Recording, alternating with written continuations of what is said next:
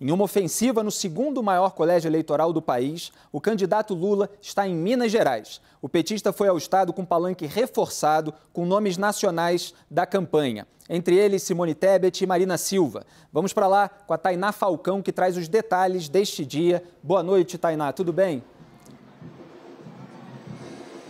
Oi, Felipe, tudo bem? Boa noite para você e para todos que estão com a gente. Fazer um resuminho da passagem do ex-presidente Lula em Minas Gerais nesse primeiro dia, dia corrido. Ele começou por Teófilo Otoni, na, no Vale do Mucuri, como você já mencionou, com o apoio da Simone Tebet, a primeira viagem que eles fazem juntos, e também com a deputada federal eleita Marina Silva. Lá ele não conversou com a imprensa, fez aquele trajeto que já é de costume, a caminhada pela cidade, falou um pouco ali no discurso citou o apoio velado do governador de Minas Gerais, Romeu Zema, no primeiro turno a Bolsonaro, o apoio dado agora no segundo turno, que segundo, ele foi escondido no primeiro por conta do, do voto casado em disputa neste momento, o voto que foi para Lula e para Romeu Zema. Também teve fala da Simone Tebet, direcionada ao presidente Jair Bolsonaro, e Marina Silva falando sobre corrupção também em relação ao presidente Jair Bolsonaro. Agora, aqui em Juiz de Fora, ele concedeu uma entrevista de imprensa. O que eu chamo a atenção é sobre o assunto do momento.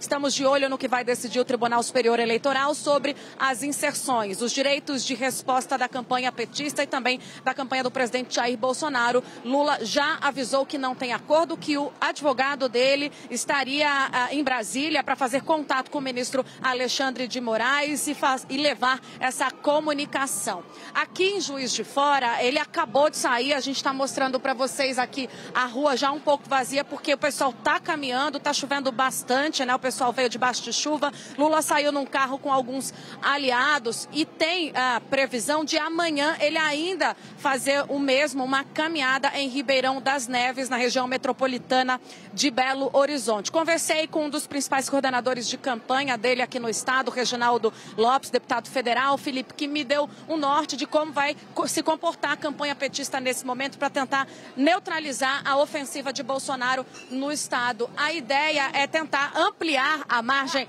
tentar ampliar a margem neste momento em cidades onde ele já tem vantagem e depois a gente teve um probleminha, mas você está dando para entender agora, né, Felipe?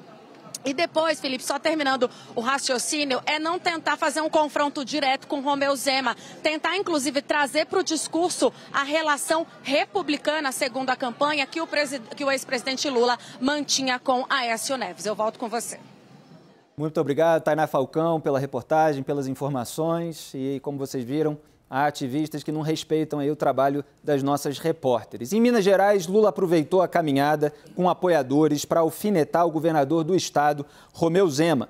O petista afirmou que Zema não se pronunciou no primeiro turno porque sabia que 40% dos eleitores que votaram nele votaram também no Zema. Vamos ver esse trecho. Eu só queria dizer para vocês eu não costumo chegar numa cidade e falar mal nem do prefeito da cidade, nem do governador do estado. Não faz parte da minha formação política. Entretanto, o governador, durante a eleição dele, ele fingia não ter candidato a presidente, porque ele sabia que 40% dos meus eleitores votaram nele. Então ele ficou quietinho, sem falar o nome de presidente. Agora que ele ganhou as eleições, caiu a máscara. Ele é bolsonarista. E ele agora está assumindo. E ele vai vir aqui essa semana com o Bolsonaro. E ele precisa que vocês digam para ele que você já tem candidato. Muito bem, vamos comentar isso e muito mais no CNN Prime Time de hoje. Eu vou dar boa noite aos nossos analistas e convidados. Yuri Pita, tudo bem? Recuperou a voz? Não vou fazer bullying de flamenguista contra corintiano. Não, eu recuperei a voz, mais ou menos, ainda está fraca, para te dar os parabéns pelo título e, e boa Como ele é generoso. hoje. É Grande Yuri. Fernão Lara Mesquita, jornalista e diretor do Estadão. Seja bem-vindo mais uma vez aqui ao CNN Prime Time. Boa noite. Boa noite. Boa noite a todos. Raquel Landim, boa noite, sempre presente. Boa noite. E hoje temos como convidados também meus queridíssimos, já estava com saudade de fazer um programa ao vivo com ele, Josias de Souza. Boa noite, Josias. Boa noite, Felipe. Boa noite a todo mundo que está no estúdio, a todo mundo que nos assiste. Prazer muito grande estar aqui com vocês hoje. E Madeleine Lasco, minha parceira, está aqui também. Tudo bem, Madá? Tudo bom, Felipe? Ótimo estar aqui com você e também rever Josias, Raquel Landim, querida, Yuri Pita, Fernão, prazer estar com você aqui também. Josias e Madeleine Lasco, que são colunistas do UOL, e eu começo por ela, de Minas Gerais, Raquel Landim, porque é um estado muito singular, um estado onde o governador apoia um candidato e o vice apoia outro. Raquel, explica isso pra gente. Lula está lá na minha terra hoje, né, Felipe? Eu estava é, começando pela sua pergunta, eu acho que o, a questão do, do Zema está para um lado e o, vice dele está para o outro, acho que isso nem é isso que está fazendo tanta diferença. O que está fazendo diferença agora é o trabalho do Zema em, é, junto aos prefeitos e o trabalho de Alessandro Gente, eu tô com uma dificuldade com o nome desse homem, do Rodrigo Pacheco e do, desde ontem, e do senador, Alexandre vou roubar aqui, Silveira. Alexandre Silveira, junto aos prefeitos. Os dois, os dois lados estão fazendo um trabalho muito intenso. Eu já trouxe aqui né, os, os bastidores da campanha do Zema, as regiões onde eles estão atu, atuando e tentando virar voto. Do lado do Lula, o discurso que o Lula trouxe na caminhada é exatamente o discurso que esses dois senadores e toda a campanha petista estão fazendo para os prefeitos lá em Minas Gerais, de que Zema foi oportunista, de que ele ficou calado durante o primeiro turno, porque boa parte do voto dele era lulista e que agora ele tá, estaria aí se revelando. Dentro da campanha do Lula existe uma crença, embora Bolsonaro esteja repetindo aí o tempo todo que está virando, que está virando Minas, e, e parece que ele está realmente conseguindo algum crescimento, principalmente ali na região metropolitana de Belo Horizonte. Dentro da campanha do Lula, eles acreditam que conseguiram azeitar melhor essa relação com os prefeitos. Eles admitem que ela estava muito falha durante a campanha do Calil, que a campanha do Calil foi muito ruim e o Calil tinha muita dificuldade para fazer essa relação municipal e que agora os dois senadores estariam fazendo isso de uma forma muito mais ativa e estão apostando que o Lula vai conseguir segurar um pouco da sua vantagem lá em Minas, especialmente nas Zona da Mata, lá em Juiz de Fora, onde ele nunca perdeu uma eleição. Legal, Raquel. Yuri Pita, a gente tem comentado aqui que o, a campanha do Jair Bolsonaro faz aquele mapeamento de onde o governador, que agora está apoiando ele no segundo turno, teve mais votos do que ele mesmo, pega essa diferença, vê onde estão esses eleitores, que seriam aqueles eventualmente inclinados a votar agora no Jair Bolsonaro, mas que não votaram nele no primeiro turno. E quando a gente vê esse discurso do Lula, é um discurso de contenção, de olha, o Romeu Zema vai atrás de vocês, mas continuem comigo. Né? Tem, tem muito disso, né, é, é, Felipe? No fim das contas, talvez seja uma eleição para. É, o segundo turno vai ser a prova dos nove se o eleitor. Não é que seja, né? É, se o eleitor é lulista ou é zemista, digamos assim. Porque, no fundo, no fundo, o fato de, de Romeu Zema ter tido mais votos do que Lula é um fato. A questão é que muito, muito dos votos que foram para Jair Bolsonaro foram para Zema, mas nem todos os votos de Lula foram para Zema. Tem eleitor do Lula que votou até no Carlos Viana, por exemplo, que é o outro senador mineiro e que foi candidato na undécima hora, mas tem toda uma trajetória de jornalista de rádio, popular, então acaba tendo essa coincidência de, de eleitorado. É, tem, acho que no, no fundo, no fundo, essa disputa por, por Minas, ela é interessante, porque a diferença de votos entre Lula e Bolsonaro no primeiro turno, que foi de pouco menos de 600 mil votos, foi praticamente o eleitorado de Simone Tebet em Minas Gerais, no estado como um todo. E a grande questão é, qual é o perfil do eleitor de Simone Tebet em Minas? Para citar só esse exemplo. É um eleitor que é mais anti-Bolsonaro ou mais anti-Lula, antipetista? Né? E aí, com isso, saber para onde esse eleitor vai. Ou se esse eleitor não, não vai nem para a urna, vai viajar, vai para vai qual que é a praia? A Praia dos Mineiros é Guarapari, no Espírito Santo, Guarapari não é isso? ou Cabo Frio. É isso, ou Cabo Frio no Rio de Janeiro, né? Minas não tem... Quem diz que Minas não tem praia? Tem ano dos estados vizinhos. Se, vai, se, se esse eleitor nem sequer vai aparecer na urna, né? Essa é, um, essa é a, grande, a grande questão. Para onde o eleitorado, que não era nem Lula nem Bolsonaro, vai se mexer? Porque virar voto de um para outro é possível, mas é bastante improvável numa eleição tão polarizada, tão cristalizada e, de novo, que o eleitor foi tão engajado que ele compareceu em grande número e ele deu pouco voto a não candidato. É, o fato de termos uma redução dos votos nulos em brancos também é um indicativo muito importante do, desse engajamento e daí dessa a presença eleição, né? da Simone, né?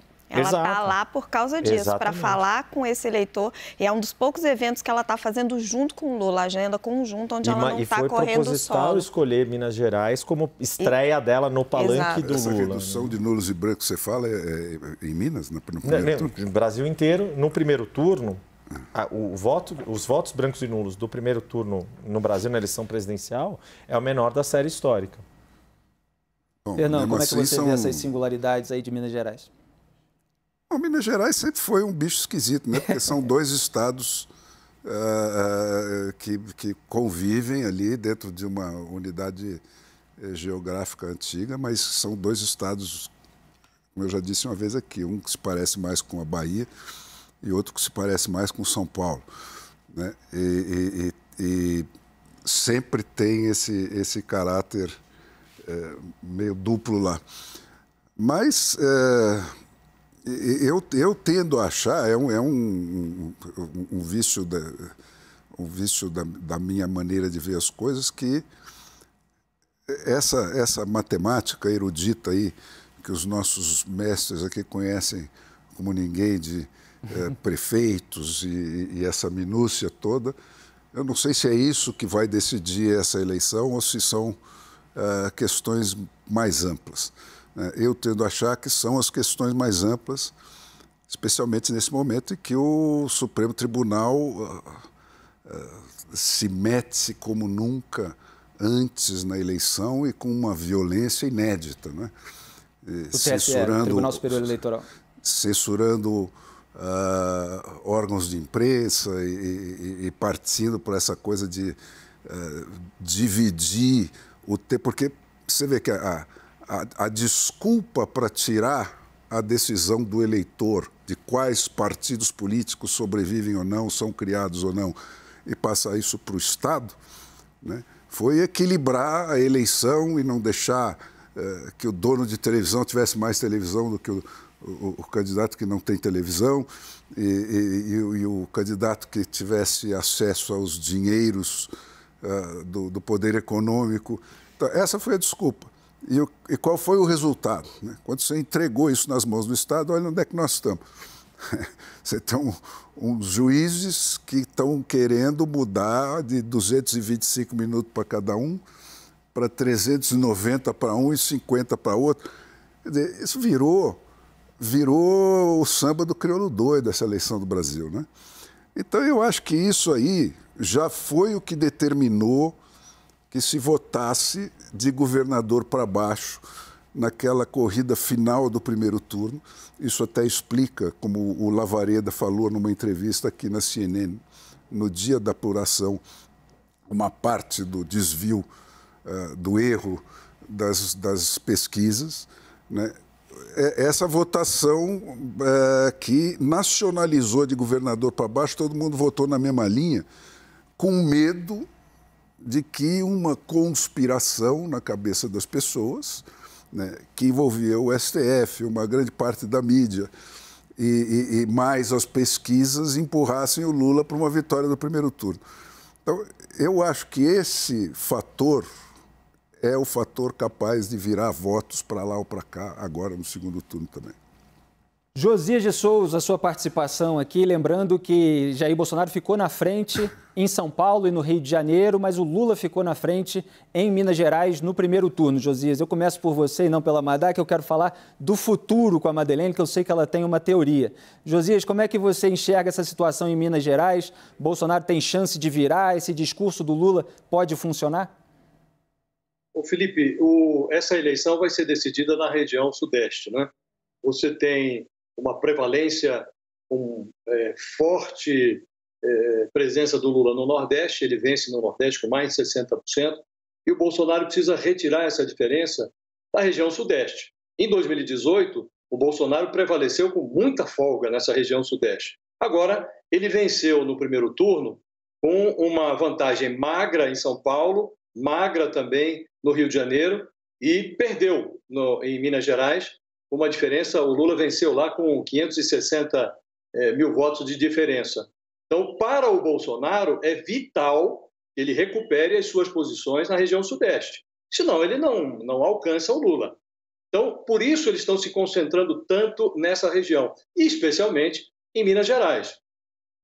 É, a última pesquisa do Datafolha mostrou que o Bolsonaro, no intervalo de cinco dias, ele é, aumentou o, o, a, sua, a sua vantagem sobre o Lula nessa região sudeste de 4 para 7 pontos percentuais. Portanto, o Bolsonaro, devagarinho, ele está reconquistando terreno em Minas Gerais. O Lula entregou São Paulo ao Alckmin, eh, terceirizou o trabalho em São Paulo ao Alckmin, está fazendo, eh, fez comício ontem no Rio de Janeiro, tem ainda a expectativa de recuperar com eh, o auxílio do Eduardo Paes, que é o prefeito do Rio, alguns votos no Rio de Janeiro, e está concentrando muito em Minas Gerais. Levou Simone Tebet, porque Minas Gerais é vital para ele. Ele precisa manter a dianteira e, se possível, ampliar. Precisa evitar que o Bolsonaro o ultrapasse em Minas Gerais. Por isso, eles se concentram tanto no Sudeste e especialmente em Minas Gerais. Eu diria a você que essa eleição será decidida na região Sudeste e especialmente em Minas Gerais. Certo, Josias. E Madeleine Lasco, essa história de um governador apoiar o Jair Bolsonaro e o vice, Paulo Brandt, apoiar o Lula, o que, que indica para a gente a respeito do futuro? Que a gente sabe que governador sempre quer ter algum tipo de relação com o governo federal, porque precisa das verbas federais ali para o seu estado também. Como é que fica esse mapeamento? Bom, o Brant, vamos lembrar, ele não é o da chapa que foi reeleita, tá? Ele é o da chapa que está agora. Mas a verdade é que eles podem estar tá vendo, a política mineira é sensacional, né? Os políticos mineiros são, vamos dizer, um caso de estudo específico, a forma como eles se conduzem, as sutilezas por toda a história do Brasil, mas enfim.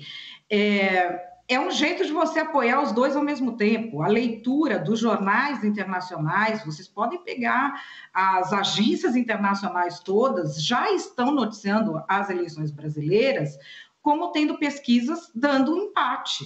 A gente tem é, órgãos internacionais que classificam o Bolsonaro como extrema-direita, que já falam em se aponta a consolidação da extrema-direita no Brasil. E a leitura deles é de possibilidades, eles têm um governo a fazer. Então, você fica com um pé em cada canoa. O Zema apoiou um, ele fica com esse pezinho que apoiou outro, que não está na chapa dele, mas é um PSDB que não é o do Aécio, que não é o mesmo PSDB que pulou no bolsonarismo, que é o PSDB que está no petismo, porque eles têm um governo a levar adiante.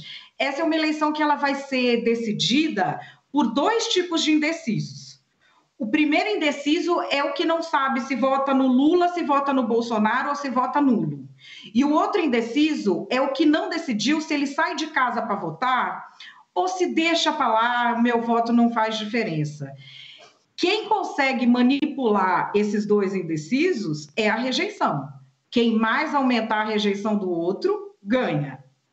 E o que a gente está vendo é que a campanha do Lula fez uma escolha de deixar o debate, o debate em que ela pode ser vitoriosa, que é sobre economia, sobre planos de governo, para ficar nas cordas numa guerra santa e cometeu esse erro, que para mim é o pior erro no pior momento da campanha, de mexer nessa cumbuca dos conteúdos em redes sociais.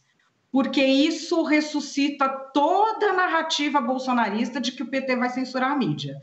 Eu não estou discutindo moralmente, não estou discutindo tecnicamente isso que o Partido dos Trabalhadores fez. Essa é outra discussão. Estou falando politicamente fazer isso nesse momento da campanha pode ter, pode não, criou um fato político que pode custar sim a eleição do Lula, porque é o medo e o inimigo comum que vão tirar os indecisos de casa. Quem tinha de ser convencido já foi. Então, assim, essa coisa de Minas Gerais, ver como eles se comportam é interessante, porque ali aparentemente o comportamento é o seguinte: não dá para apostar em nada. Vamos esperar abrir a urna, depois a gente conversa. Muito obrigado, Madeleine Lasco, Josias de Souza. A gente já volta com você.